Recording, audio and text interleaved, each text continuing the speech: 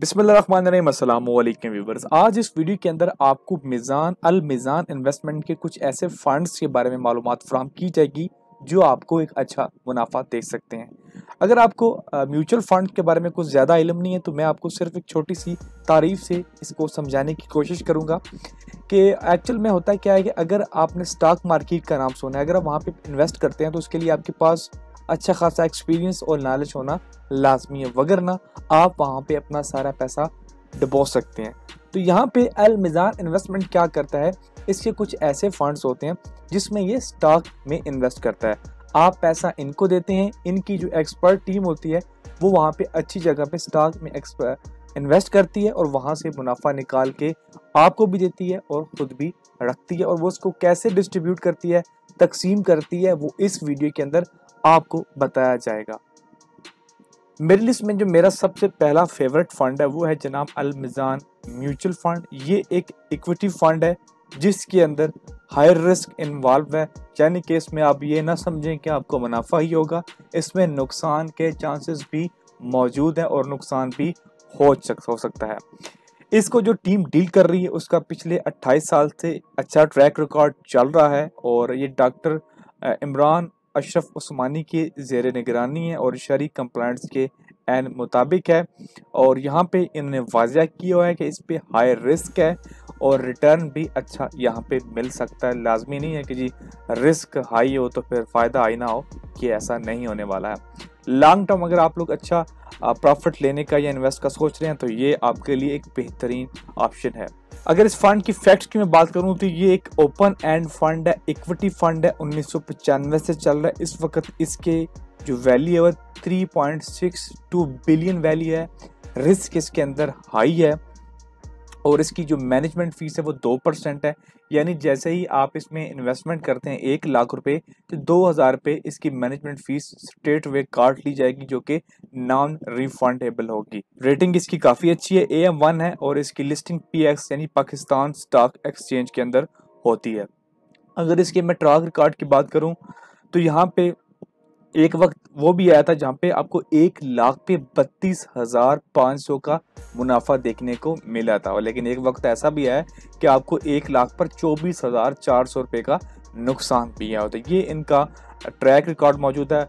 पंद्रह, सोलह, सत्रह, अठारह, उन्नीस, बीस, इक्कीस, बाईस, तेईस, पिछले आठ साल का ट्रैक रिकॉर्ड आपके साथ मौजूद है, जिसमें एक तो तीन चार, पाँच पाँच मरतबा यहाँ पे इनको प्रॉफिट हुआ है और तीन मरतबा ये लास्ट में किए हैं, बल्कि चार मरतबा ये लास्ट में किए हैं। एक दफ़ा सोलह हज़ार का, एक दफ़ा चौबीस हज़ार का, एक दफ़ा दस हज़ार का और एक दफ़ा तकरीबन दो सौ अस्सी रुपये। ये तीन दफ़ा ही मैं कह सकता हूँ कि यहाँ पे आपको नुकसान हुआ। लेकिन मुझे उम्मीद है कि आने वाले अरसे के अंदर, इसके अंदर जब वो आपको एक अच्छा पोटेंशियल एक अच्छा मुनाफा देखने को मिलेगा। नंबर टू पे हमारे पास है मिज़ान सोवेरियन फंड। ये भी एक बेहतरीन फंड है। अगर आपको एक अच्छा प्रॉफिट और हलाल प्रॉफिट चाहिए और रिस्क भी इसके अंदर कम हो तो ये आपके लिए एक बेहतरीन प्रॉफिट है, जिसके अंदर आपको महाना की बुनियाद पर मुनाफा मिलता है। और इसके अंदर जो रिस्क फैक्टर है, वो इंतहाई लो है। और यहाँ पे ये भी पाकिस्तान स्टॉक एक्सचेंज के अंदर लिस्टेड है और इसकी वैल्यू बहुत ज़्यादा, तकरीबन सत्रह बिलियन के आसपास इसके अंदर अमाउंट इन्वेस्टमेंट हो चुकी है। और यहाँ पे जो मैनेजमेंट फ़ीस है, वो तकरीबन ज़ीरो पॉइंट सिक्स परसेंट रखी गई है। आपकी नेट एसेट की यानी कि टोटल आपकी वैल्यू की ज़ीरो पॉइंट सिक्स परसेंट ये मैनेजमेंट फ़ीस के तौर पे काटा जाता है जो कि ये सारा काम मेंटेन करते हैं उनकी ये फ़ीस होती है। अगर यहाँ पे हम बात करें फ़ंड परफॉर्मेंस की तो इसने पिछली आ, इस दफ़ा जब पंद्रह हज़ार तीन सौ सत्तर रुपये का मुनाफा एक लाख पे दिया है और ये पिछले आठ नौ साल से कंटिन्यूसली प्लस में जा रहा है। पंद्रह परसेंट था 2022 में आठ परसेंट था इक्कीस में सात परसेंट था, बीस में ये ग्यारह परसेंट तक गया है। तो ओवरऑल इसका ट्रैक रिकॉर्ड बहुत ही अच्छा गया है और ये बहुत अच्छा परफॉर्म कर रहा है तो ये इसमें रिस्क काफ़ी हद तक जो वो ना होने के बराबर है। नेक्स्ट हमारे पास आ जाता है जी Meezan daily income plan M D I P one. और इसके अंदर जो बेनिफिट्स आपको दिए जा रहे हैं, वो एक हलाल रिटर्न है, जो कि तीनों के अंदर है, जो मैं पहले भी दो बता चुका हूँ, वो भी हलाल हैं। Good avenue of short to medium term investment आप लोग जो है वो शॉर्ट से मीडियम टर्म इन्वेस्टमेंट कर सकते हैं।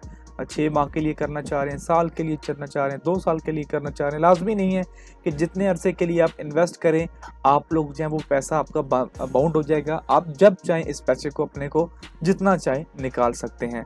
यहाँ पे नौ लाख पीरियड है। आपकी इन्वेस्टमेंट का कोई लाख पीरियड नहीं जितना चाहें आप कर सकते हैं। इजी ऑनलाइन इन्वेस्टमेंट है। ऑनलाइन ही आप इसके अंदर इन्वेस्ट कर सकते हैं। ऑनलाइन ही अपना पैसा यहाँ से विड्रा कर सकते हैं। आपको एप्लीकेशन मैजान की ऑनलाइन फंड्स एप्लीकेशन है, जिसके थ्रू आपको रसाई दी जाएगी। और इनकी जो टीम है मैनेजमेंट फ़ीस है उसका एक अच्छा ट्रैक रिकॉर्ड भी यहाँ पे मौजूद है। अगर आपको डेली डिवाइडेड डिस्ट्रीब्यूशन यानी कि डेली आपको मुनाफा चाहिए डिवाइडेड मतलब ये होता है, एक तो ये होता है कि इसकी शेयर की वैल्यू बढ़ना। जारी बात है, ये स्टॉक एक्सचेंज में इन्वेस्टमेंट हो रही है। तो स्टॉक एक्सचेंज में आज हमने किसी कंपनी का स्टॉक खरीदा, उसकी कीमत है पाँच रुपये एक महीने बाद उसकी स्टॉक की कीमत होगी सात रुपये तो हमें स्टॉक में तो फ़ायदा होगा ही होगा, लेकिन कंपनी अपना जो मुनाफा हो रहा है, उसमें भी हमें शरीक कर रही है। तो उसे हम डिवाइडेड कहते हैं। वो जो मुनाफा आता है, वो डेली की बुनियाद पे मिलेगा, और जो आपका प्रॉफिट होगा आपके स्टॉक के ऊपर, जो आपको मिलेगा, वो मंथली की बुनियाद पे आपको मिलेगा। रिस्क इसके अंदर रिस्क थोड़ा सा हाई होता है नॉर्मल से थोड़ा सा हाई होता है मॉडरेट होता है। और इसके अंदर जो मैनेजमेंट फ़ीस है, तकरीबन पाँच परसेंट तक रखेगी, यानी कि एक लाख पे पाँच हज़ार रुपये तक फ़ीस रखी गई है। और इसका पिछला जो मुनाफा था, वो तकरीबन सोलह हज़ार आठ सौ रुपये पर कह लें कि एक लाख के ऊपर आपको मिला है एक साल का। तो बाकी आप इसको बहाना की बुनियाद पे कैलकुलेट कर सकते हैं बारह पे तकसीम करके उसमें से फाइलर का पंद्रह परसेंट टैक्स भी कटेगा। अगर आप फाइलर हैं, तभी इन्वेस्टमेंट कीजिएगा, तभी आपको एक अच्छा फ़ायदा यहाँ पे म्यूचुअल फंड्स के अंदर देखने को मिलेगा। अगर यहाँ पे इन्वेस्टमेंट लिमिट की मैं बात करूँ तो यहाँ पे आप लोग पाँच हज़ार रुपये की इन्वेस्टमेंट से भी स्टार्ट कर सकते हैं। अगर आपको इसके अंदर इन्वेस्टमेंट करनी है तो इसके लिए आपका मैदान बैंक का अकाउंट होना लाजमी है। अगर आपके पास मैदान बैंक का अकाउंट नहीं है तो यहाँ पे al Meezan group dot com पर आके यहाँ पे ओपन डिजिटल अकाउंट पर क्लिक करें। और यहाँ से आप लोग जहाँ पर भी करना चाहते हैं डिजिटल अकाउंट ओपनिंग या फिर रोशन डिजिटल अकाउंट या फिर सहूलत सरमाकारी अकाउंट तो यहाँ पे मैक्सिमम लिमिट है वो दस लाख रुपए की है। अगर आप इससे ज़्यादा इन्वेस्टमेंट करना चाहते हैं तो इसके लिए आपको इनकी ब्रांच जाना होगा। जैसे कि यहाँ पे मैंने सहूलत सरमाकारी अकाउंट सेलेक्ट किया है। यहाँ पे आपको C N C mobile number email और ओनरशिप ऑफ़ योर मोबाइल जिस, जो ना नंबर आपके नाम पे है, आपके आईडी कार्ड के ऊपर है, वो आपने यहाँ पे देना है और यहाँ पे वेरिफिकेशन कोड मिलेंगे। तो कुछ स्टेप्स के बाद बेसिक इन्फॉर्मेशन आएँगी, उसके बाद के वाई सी डिटेल्स आएँगी, उसके बाद F A T C data देना होगा और रिस्क प्रोफ़ाइल आपकी बनेगी। डॉक्यूमेंट्स अपलोड होंगे प्रिव्यू होगा और उसके बाद आपका अकाउंट जो है वो ओपन हो जाएगा। अब यहाँ पे मैं ये सारी डिटेल इसलिए नहीं शेयर कर रहा कि वीडियो बहुत ज़्यादा लंबी हो जाएगी और फिर लोग देखते नहीं हैं। अगर आप चाहते हैं कि इसका अकाउंट ओपनिंग का तरीकाकार भी बताऊँ तो नीचे कमेंट करके बताइएगा। मज़ीद इसी तरह की वीडियोज़ के लिए business with Ali YouTube channel को सब्सक्राइब करना मत भूलिएगा। बहुत शुक्रिया।